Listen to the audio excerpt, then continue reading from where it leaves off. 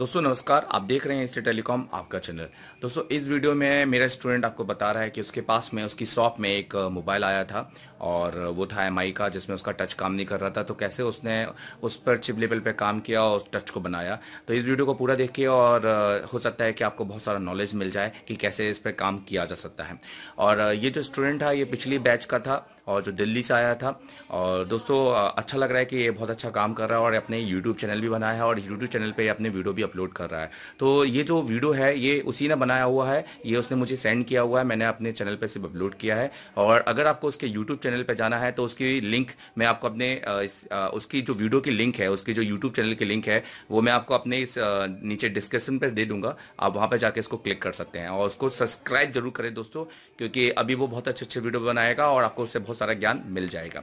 अच्छा दोस्तों इसके साथ ही मेरा पंद्रह तारीख का नया बैच जो चालू हो रहा है वो सॉफ्टवेयर का बैच है जिसमें हम सभी तरह के मोबाइलों की फ्लैशिंग आपको बताएँगे बिना बॉक्स बॉक्स के साथ। सभी तरह के मोबाइलों के मोड क्या होते हैं एफ़ अनलॉक और उसका बेसिकली नेटवर्क अनलॉक और नेटवर्क जो नेटवर्क रिपेयर जो होता है, जिसको हम नेटवर्क रिपेयर बोल सकते हैं, जैसे कभी कभी हम फ्लैश करते हैं और आई उसका नल हो जाता है, नल हो जाता है तो उसको कैसे हम ठीक कर सकते हैं रिपेयर कर सकते हैं तो ये सारी चीज़ें हम बाकायदा अपने यहाँ पर प्रैक्टिकली सिखाते हैं, जिसमें हमारे यहाँ एक बड़ा प्रोजेक्टर लगा हुआ है और सारे स्टूडेंट को हम मौका देते हैं फ्लैशिंग का। यहाँ पर ऐसा नहीं है दोस्तों, आपको कॉपी किताब पेन यहाँ पे कुछ भी लेके नहीं आना है, सारी चीज़ें यहाँ पर प्रैक्टिकल ही सिखाई जाती हैं, यहाँ पर लिखे हुए आपको नोट्स मिल जाते हैं।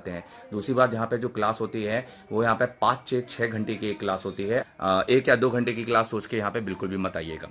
अच्छा दोस्तों, अगर आपको यहाँ पे सॉफ्टवेयर का काम सीखना है कम दिनों में, और अगर आप चाहते हैं कि आप ज़्यादा महीने अगर आपके पास नहीं है, अगर आपका शॉप है, या जो भी है, अगर आपको सीखना है ये काम तो आप आ सकते हैं, और नीचे दिए नंबर पे अपना एसएमएस कर दीजिए, अपना नाम, एड्रेस, और लिख दीजिए कि आपको सॉफ्टवेयर बैच को सीखना है। पंद्रह तारीख से चालू हो रहा है, चौदह तारीख आप जौलपुर आ सकते हैं, जो उसकी फ़ीस और डिटेल सब कुछ आपको फ़ोन पर बता दी जाएगी। चलिए, इस वीडियो को पूरा देखिए। अगर पसंद आया तो लाइक कीजिएगा। और और अच्छा पसंद आए तो जो इस लड़के ने ये वीडियो बनाया है मेहनत के साथ, उसको अप्रिशिएट करने के लिए उसके यूट्यूब चैनल पर जाकर उसको सब्सक्राइब ज़रूर कीजिएगा और उसकी यूट्यूब चैनल की लिंक इसके वीडियो के नीचे मिल जाएगी। दोस्तों, आज हमारे पास एक फ़ोन आया है एम आई फाइव ए ये आप देख रहे हैं एम आई फाइव ए है ये इसका मदरबोर्ड है। ये इसका मदरबोर्ड है। बैक साइड दिखा। इसमें प्रॉब्लम ये आ रही है कि इसके अंदर टच नहीं चल रही। टच की प्रॉब्लम आ रही है। हम आपको लगा के एक बार दिखाते हैं कि इसमें क्या प्रॉब्लम आ रही है।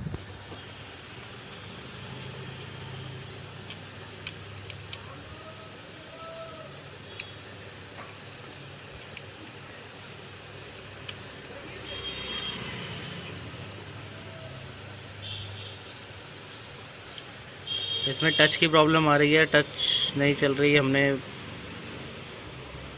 फोल्डर भी चेंज करके देखा, उसके बाद भी इसमें टच की प्रॉब्लम आ रही है टच नहीं चल रही।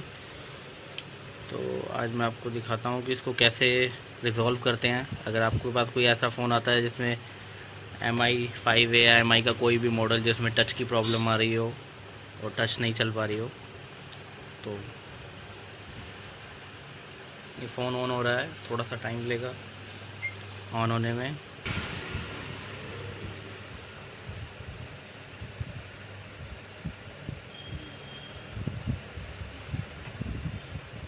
ये फ़ोन ऑन हो गया। टच ये देख रहे हो, इसमें टच नहीं चल रहा। हमने टच का पत्ता भी लगा रखा है। दिखा दो एक बार ये टच का पत्ता। ये टच का पत्ता है। ये एक मिनट।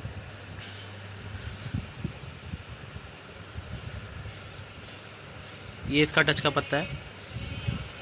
ये भी लगा हुआ है, लेकिन फिर भी टच नहीं चल रही। बैक साइड देखो। टच चला के देखो। ये टच नहीं चल रही।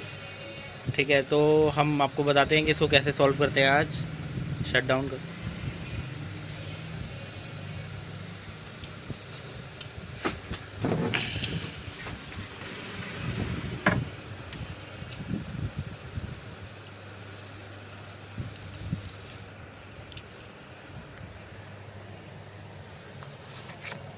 ये इसका टच का कनेक्टर है।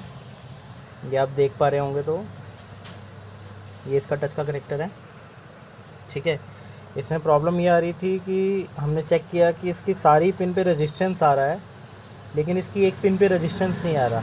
एक पिन ओपन आ रही है। मैं आपको दिखाता हूँ। हमने फाइंड आउट कर रखा था। मैं आपको बता रहा हूँ एक बारी। दिखा रहा हूँ।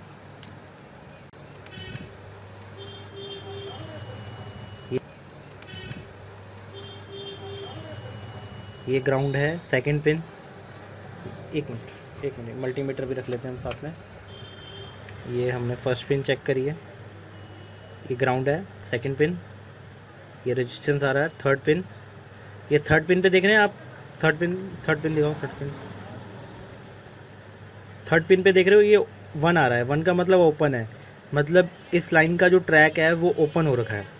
ठीक है तो हमने इसकी कंटिन्यूटी लेके चेक किया। तो इसकी कंटिन्यूटी यहाँ पर एक डायोड लगा हुआ था। ये आपको मैं जूम करके दिखाता हूँ। एक बारी, एक मिनट थोड़ी ये डायोड लगा हुआ था यहाँ पे। इस डायोड पे आ रही थी। लेकिन इस डायोड से भी ओपन ही आ रहा था ये पॉइंट तो फिर हमने इसको चेक किया। तो इसकी दूसरी कंटिन्यूटी हमें इसके बैक साइड पे बैक साइड पे ये आप सीपीयू के बिल्कुल पास ये रजिस्टर देख रहे हैं? ये रजिस्टर? हाँ जी। इस रजिस्टर पे आ रही थी इसकी कंटिन्यूटी इस रजिस्टर पे इसकी कंटिन्यूटी आ रही थी।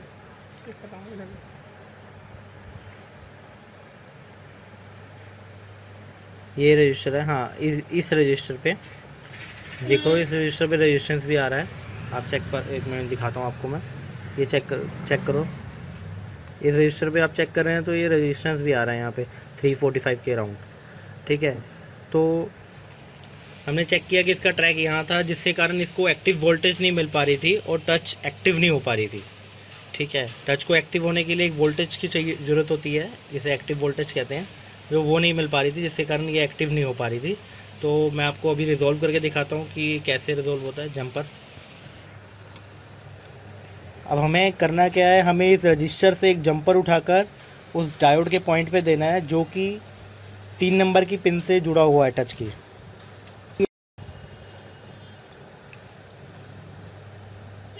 ये रजिस्टर में हमने जंपर लगा दिया है, इसके बैक साइड के पैनल पे जंपर लगा रहे हैं हम।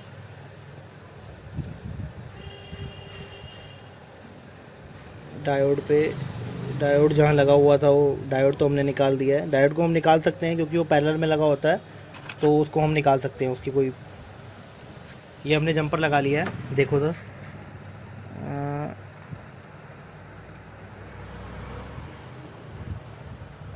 देख पा रहे हो हमने यहाँ पे इस पॉइंट पे जंपर लगाया है कैपेसिटर के ऊपर एक डायोड है।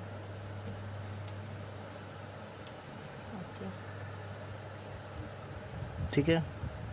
बैक साइड पे भी दिखा दो कहाँ जंपर लगाया, कहाँ से कहाँ जंपर लगाया बैक साइड पे।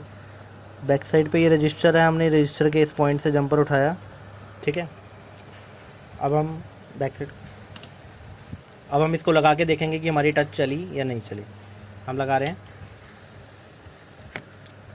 ये हम लगा रहे हैं फ़ोन में। लगा रहे हैं ऑन ऑफ़ पत्ता। ये जो प्रॉब्लम आई है, ये ज़्यादातर वाटर डैमेज के कारण आती है। ये फ़ोन भी पानी में गया हुआ था, जिसके कारण हमें ये प्रॉब्लम आई है इसके अंदर। वाटर डैमेज फ़ोनों में अक्सर क्या होता है, पानी जाने के कारण इसकी जो अंदर के सर्किट होते हैं, वो ब्रेक होता, हो जाते हैं इंटरनली तो उसे हमें ट्रेस करके फिर जंपर की मदद से जोड़ना पड़ेगा। इसका भी इंटरनली सर्किट ब्रेक हो चुका था। ये ऑन हो गया है। अब हम टच चला के देखेंगे एक बारी। ये टच चल रही टच हमारी चल रही है।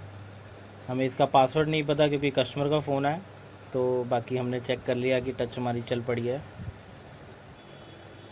अभी मैं आपको दिखाता हूँ कि इसका रीज़न क्या है कि क्या प्रॉब्लम आ रही थी। बैक साइड पे करो, नीचे।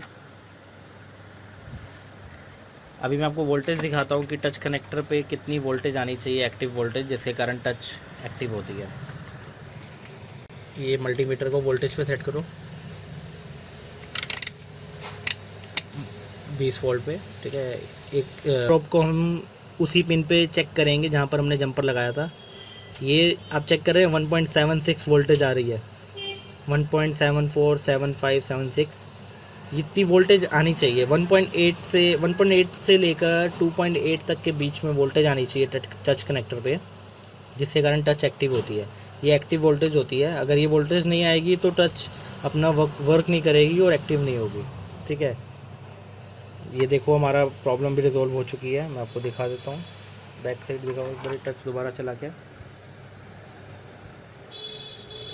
यही प्रॉब्लम थी कि हमारी टच चल नहीं रही थी। तो ये प्रो ये सोल्यूशन आपके रेडमी के हर फ़ोन में काम आ सकता है, जिसमें टच नहीं चल रही। आपको रजिस्टेंस चेक करना है उसके बाद कंटिन्यूटी वगैरह लेकर ट्रेस करके आपको आगे की सप्लाई वगैरह चेक करनी है। और इसी तरह मेरी वीडियोस को देखने के लिए लाइक करें सब्सक्राइब करें चैनल को लाइक करें सब्सक्राइब करें और शेयर करें। और ये अभिषेक बताएँगे इस बुक के बारे में बताइए अभिषेक। ये हार्डवेयर की बुक है। इसमें हार्डवेयर की प्रॉपर नॉलेज है। जो स्टूडेंट यहाँ पर नहीं आ पा रहे किसी कारण या किसी दूसरे इंस्टीट्यूट में पढ़ रहे हैं तो वो ये बुक लेकर एक एक कॉम्पोनेंट की पूरी जानकारी हासिल कर सकते हैं। इसमें हर एक कंपोनेंट के बारे में पूरी डिटेल से बताया गया है। और इसमें आईसी लेवल तक की पूरी नॉलेज दी गई है आपको। और बुक को अगर आपको परचेज करना है तो उसका लिंक आपको डिस्क्रिप्शन में मिल जाएगा। तो जैसा कि दोस्तों अभिषेक ने बताया इस बुक के बारे में आ, मेरा एक हार्डवेयर का एक वॉल्यूम टू भी आने वाला है और जिसमें मैंने यहाँ पर मैंने बेसिक लेवल पे जो चीज़ बताई है उसी चीज़ को मैंने एडवांस लेवल पे बताया हुआ है। बेसिकली ट्रेसिंग कैसे करते हैं तो उसके लिए थोड़ा वेट कीजिएगा। वो आ जाएगी मे बी दो या तीन महीने में मंथ के अंदर। तो अगर आपको तो अगर आपको ये वीडियो अच्छा लगे और अगर आपको ये बुक खरीदनी है तो इस बुक को कहाँ से खरीद सकता है? बुक को खरीदने के लिए नीचे लिंक दे रखा है डिस्क्रिप्शन में वहाँ से आप क्लिक खरीद सकते हैं। और अगर आपको मोबाइल रिपेयरिंग सीखनी है तो आप यहाँ पर आ सकते हैं। जैसे कि अभिषेक दिल्ली से आए हुए हैं और आप जैसे जानते हैं कि दिल्ली में बहुत सारे इंस्टीट्यूट है बड़े बड़े इंस्टीट्यूट है। मैं नाम नहीं लूँगा किसी का पर ये भी कहीं ना कहीं किसी किसी बड़े इंस्टीट्यूट से ही सीख कर है। और यहाँ पर आपको किस तरह का अनुभव हुआ? थोड़ा सा दो मिनट के लिए यहाँ पर बहुत अच्छी बहुत अच्छा लगा मुझे आकर यहाँ पर।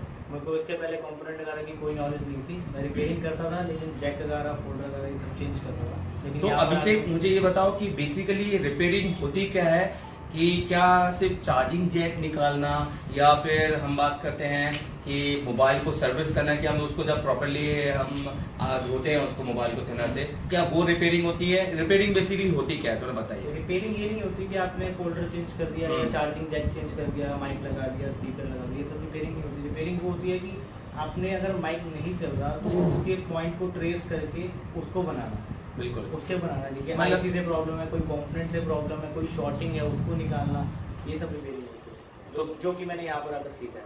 अब गूगल प्ले स्टोर में जाकर सर्च बार में एशिया टेलीकॉम सर्च करें।